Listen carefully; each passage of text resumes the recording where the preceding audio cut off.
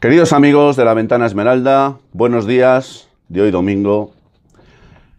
La verdad es que hoy es una mañana muy bonita, muy soleada aquí en Valladolid, pero es una mañana de intranquilidad, de preocupación, de inquietud, por cuanto somos muchos los que estamos a expensas de lo que suceda mañana lunes, día creo que 25 de marzo, con la, bueno, esa medida cautelar adoptada por el juez de la Audiencia Nacional, Santiago Pedrat, el pasado viernes, poco antes de la medianoche, como si hubiera querido hacerlo con nocturnidad, una vez más, de proceder a suspender cautelar, cautelarmente la red de mensajería instantánea que es la popular Telegram, de la que tanto somos usuarios. Seguramente muchos de vosotros también lo seáis. Ha generado, perdón, muchísima inquietud porque más allá de los argumentos esgrimidos por la autoridad judicial, más allá de la denuncia presentada por los tres grandes o tres de los grandes de la comunicación audiovisual y televisiva en este país, más allá de los argumentos de que Telegram pudiera estar alojando contenidos privados eh, mm, que tienen que ver con protección, con datos y sin la debida autorización. Más allá de todo eso, lo que subyace, queridos amigos de la Ventana Esmeralda, como muy bien vosotros, muchos de vosotros habréis ya percibido, captado, lo que subyace es un nuevo ataque contra la libertad de expresión contra la libertad de información, contra el libre ejercicio de la libertad, en definitiva, por extensión.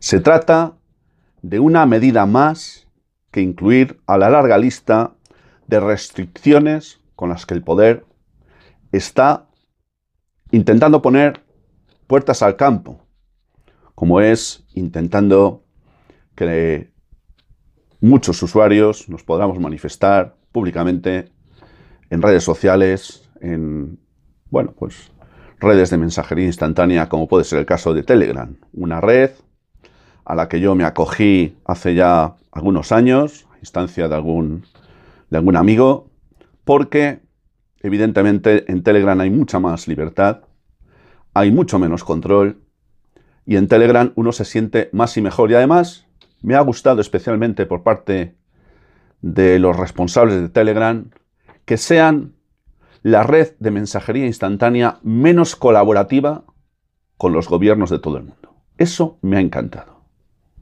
Ni un solo byte de datos ha sido facilitado a ningún gobierno hasta la fecha por parte de los responsables de Telegram. Sí, yo ya sé que en Telegram se pueden alojar contenidos que pudieran vulnerar la legalidad. Es más que probable. Pero también eso está sucediendo en otras plataformas, queridos amigos de la Ventana Esmeralda. Gracias por estar ahí una vez más. Como puede ser el caso de WhatsApp o de TikTok, de Google, por ejemplo. Y sin embargo no se están adoptando esas medidas cautelares, tendentes a paralizar o suspender, al menos temporalmente, la, la actividad en un canal tan importante como el de Telegram. ¿Por qué? ¿Por qué entonces Telegram sí y los demás no? Esa es una buena pregunta que os lanzo al aire y que estoy convencido seguro que vosotros vais a dejar vuestros comentarios debajo del vídeo y vais a expresar vuestra, vuestra opinión.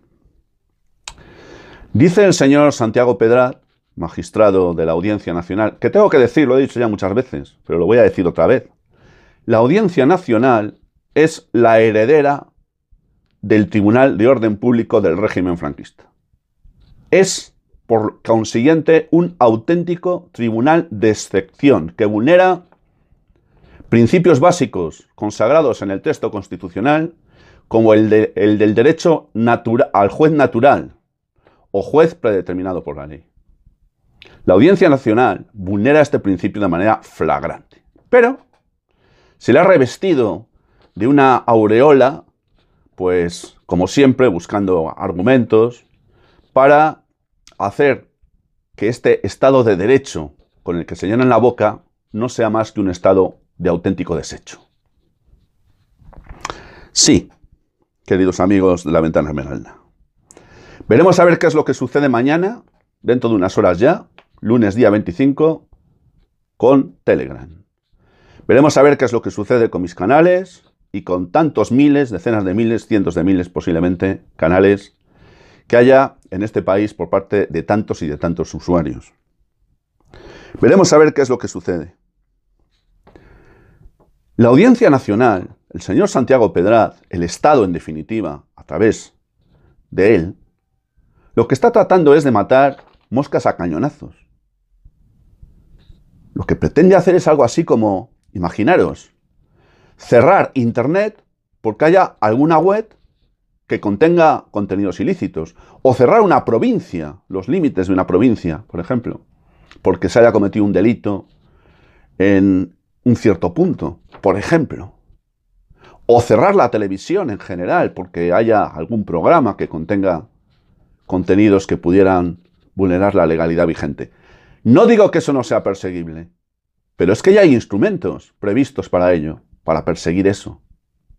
Claro, que venga ahora el señor Santiago Pedrada a decir que es el único remedio que le quedaba a la Audiencia Nacional para proceder contra Telegram porque viene haciendo caso omiso a la solicitud de informaciones que se le viene requiriendo, concretamente os voy a decir, desde el día 28 de julio del año 2023, es verdad que hace oídos sordos Telegram a los, a los requerimientos judiciales. Por eso me gusta, porque no colabora. Que sea la autoridad judicial la que proceda en su caso contra quienes pudieran ser responsables de la perpetración de alguna actividad de carácter delictiva.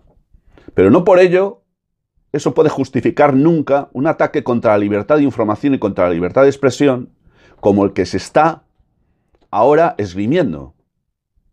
No, no, señor Santiago Pedra, usted sabe que hay más remedios. Por ejemplo, achicharren ustedes a Telegram multas. Póngales multas diarias, pues, eh, no sé, cantidades importantes, hasta que se aburran y en su caso le faciliten los datos que, que ustedes eh, requieren. Claro que hay más remedios. No nos cuente eh, milonga, señor Santiago Pedra. Que no somos idiotas. Que no, que no lo somos. No crea usted que por ser magistrado de la Audiencia Nacional es usted más listo que los demás. Puede que tenga conocimientos jurídicos más amplios que el resto de los mortales. Pero no es usted más listo, ¿eh? Y no nos tome por tontos, porque no lo somos. El sistema está nervioso se le ha ido de las manos muchas cosas. Las televisiones, que son fundamentalmente, hay más medios, radios, periódicos, pero sobre todo las televisiones, han sido hasta hace muy poco tiempo el principal vehículo a través del cual transmitir pues los mensajes de siempre, ¿no? La verdad absoluta, lo bueno, lo políticamente correcto, lo que hay que pensar, eh, y nada de nada de dar cabida a los disidentes. Pero ¿qué ocurre? Que las televisiones cada vez las ve menos gente, porque ya no se las come nadie. Bueno, hay un sector de la población, sobre todo de los más mayores, que siguen comiendo televisión, mucha. Pero los más jóvenes y de gente de edad media, ya no nos tragamos nada de la televisión y apenas la vemos. Incluso hay mucha gente ya que ha prescindido hasta de la televisión como aparato, como aparato mecánico y receptor. Sí, el sistema televisivo y mediático vive en gran medida de la publicidad. Si cada día que pasa pierden audiencia, pierden también publicidad. Y eso no se lo pueden permitir. Por eso el ataque contra las redes sociales. Por eso el ataque contra canales de mensajería instantánea como puede ser el de Telegram. Me pregunto, no obstante, lo que he dicho ya antes, ¿por qué no se hace lo propio con WhatsApp o con otros? ¿Tendrá que ver quizá porque sean rusos, aunque estén exiliados los creadores en el año 2013 de, de Telegram? Yo creo que no. Personalmente pienso que no hay una relación directa entre la medida adoptada por Santiago Pedrat y el que sean rusos los, los dos creadores de esta plataforma en el año 2013. Pero bueno, es una opinión personal. Sí, La medida cautelar adoptada por la Audiencia Nacional el pasado viernes con nocturnidad, poco antes de la medianoche, como he dicho antes, ha sido calificada por expertos como una medida desproporcionada y sin sentido. Os estáis preguntando qué va a pasar ahora con mis canales, qué va a pasar ahora con Telegram, qué va a pasar a partir de las 0 horas del lunes día 25. No sé si hora española o hora de, por allá, de los Estados Unidos o de donde esté. Bueno, de Dubái, que es donde está ubicada la base operativa de Telegram. Bueno, estemos atentos. Yo quiero lanzar un mensaje de tranquilidad. Yo soy de los que piensa que esto no va a ir mucho más allá. Es posible que durante unas horas esa medida cautelar efectivamente eh, provoque la suspensión de el bloqueo de, de Telegram y que no podamos acceder a nuestros contenidos. Es posible. Pero esa medida va a ser recurrida. Yo estoy convencido que va a ser tirada por el, por, el suelo, porque es que no tiene sentido. No tiene sentido y con eso no estoy justificando que no pueda haber contenidos que sean de otras, eh, contenidos, eh, datos y contenidos privatísticos que pertenezcan a otras, a otros canales, a otros, a otros medios, que se persigan si procede. Hay instrumentos legales para ello, pero la desproporcionalidad de proceder a suspender cautelarmente un canal tan importante como el de Telegram es que no tiene ningún sentido. Bueno, tiene sentido para aquellos que son enemigos de la libertad de información y de la libertad de expresión, como el Estado y todos sus engranajes, entre los que está la Audiencia Nacional y también el señor magistrado Santiago Pedraz. Vuelvo a insistir, me encanta que Telegram no colabore.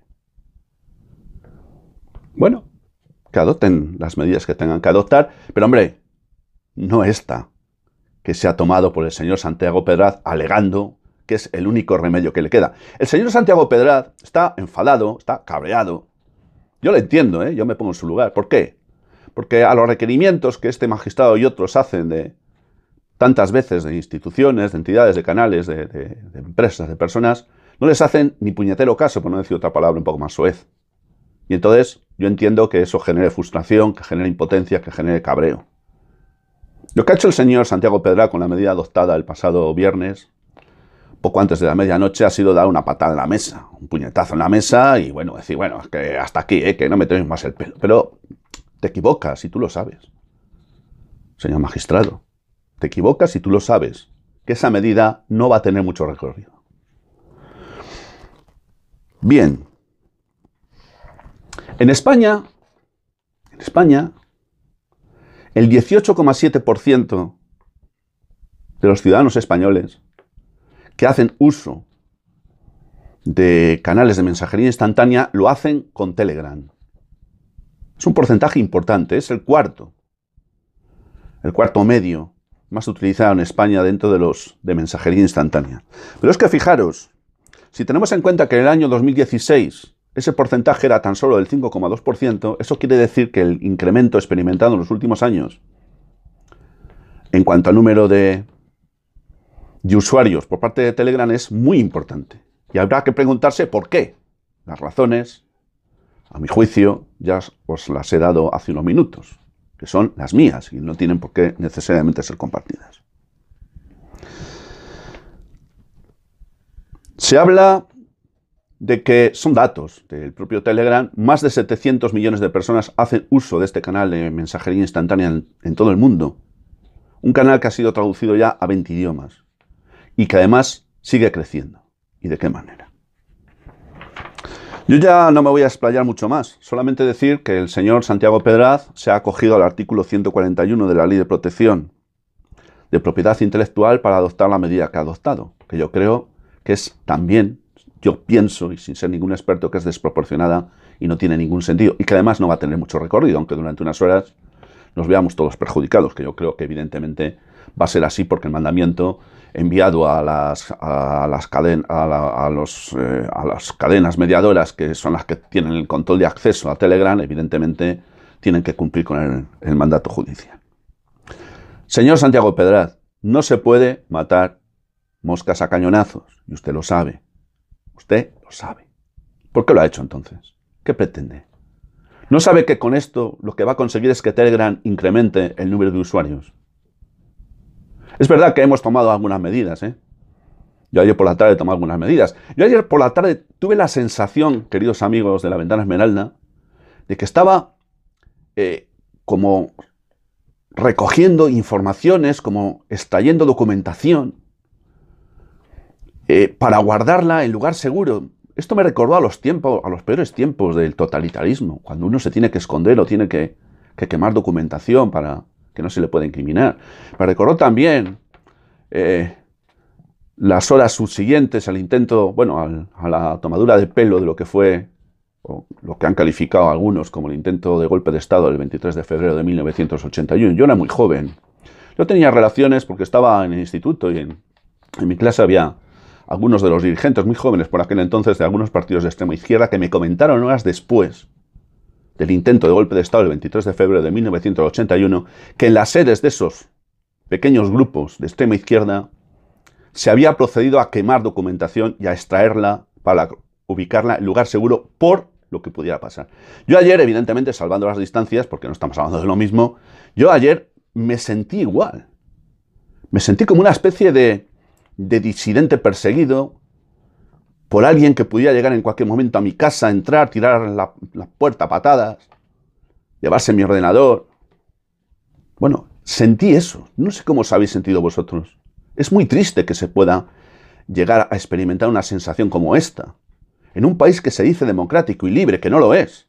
Me he cansado de decirlo, no me cansaré nunca de decirlo. Ni es democrático ni es libre, desgraciadamente. Sí somos libres nosotros, pero el Estado español no es un Estado libre. Concluyo diciéndoos que esto que esta medida adoptada por el magistrado de la Audiencia Nacional no es la primera vez que se adopta en el mundo. España se suma a otros países que ya han hecho lo propio en su momento. Estoy hablando de Indonesia en el año 2017, de Rusia en el año 2018, de Irán, que lo hice también en el mismo año. Sí, queridos amigos. De Tailandia en el año 2020, de Brasil también en ese mismo año y finalmente de Somalia en el año 2023. O sea, todo un elenco de países democráticos, entre comillas, a los que se suma ahora España. Qué triste honor, una vez más, pasar a engrosar la lista de los países que adoptan sin el menor escrúpulo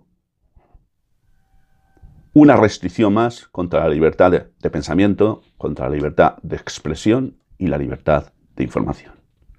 Gracias, queridos amigos, por haberme escuchado una vez más. Tranquilos, no creo que vayamos a perder ni canales ni el acceso a Telegram más que por unas horas. Es una apuesta que yo hago.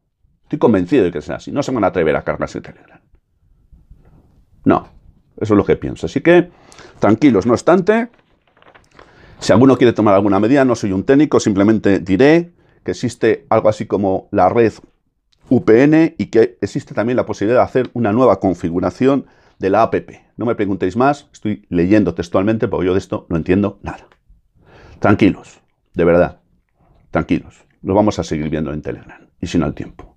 Hasta pronto, salud y libertad para todos, queridos amigos de la Ventana.